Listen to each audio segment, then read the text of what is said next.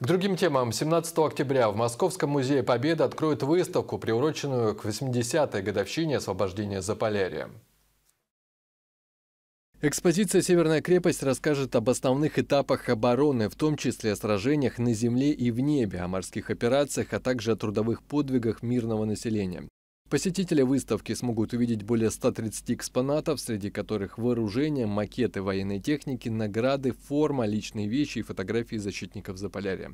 Экспозицию дополнят цифровые копии живописных и графических работ художников Михаила Успенского и Михаила Новикова, запечатлевших наш регион в военный период. Посетить выставку можно будет до 31 января в Московском музее Победы.